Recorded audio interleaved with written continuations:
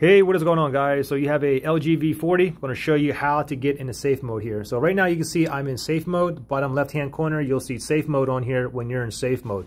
Let me go ahead and get out of this really fast and I'll get back into it. Now to get now to get out of it, the only thing you got to do is simply go ahead and just restart your phone and then you'll be out of it. So let me restart my phone and then I'll show you how to get back into it. Give me a second here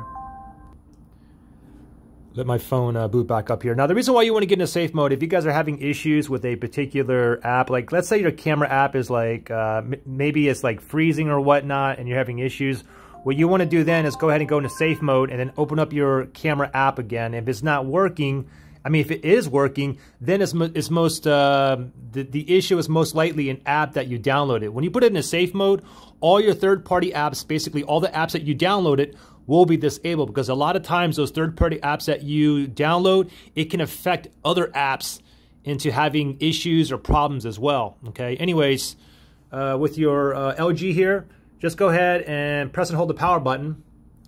And then you're going to get this menu that pops up here. And where it says power off here, you don't want to tap it. You want to press and hold it. So press and hold it. And then right here, we get the safe mode option. To turn on safe mode, the phone will restart and certain apps will be unavailable to help you troubleshoot the phone. Yeah, certain apps won't be available. Apps like the uh, third-party apps that you download, they'll all be disabled.